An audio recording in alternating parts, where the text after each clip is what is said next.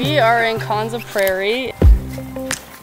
The Konza Prairie is a long-term ecological research center for all types of research. We are here to sample a whole bunch of things, water chemistry, macroinvertebrates or bugs, and where the water is moving between the ground and the surface to understand how these streams go dry and what the implications are for the quality of the water.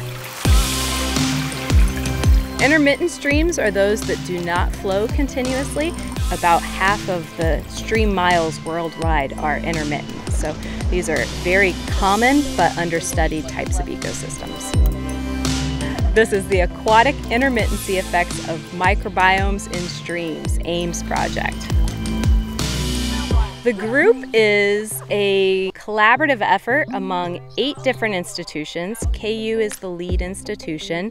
It's nice to be around people that just like enjoy hiking up a stream and also enjoy the research process.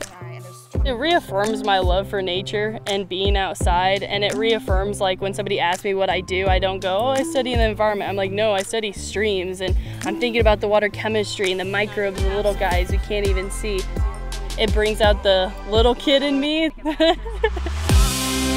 all of this is within the Kansas River watershed. So all these intermittent streams are, are embedded in this larger watershed that approximately a third of Kansans drink out of. It's a lot. We are covering a lot of ground.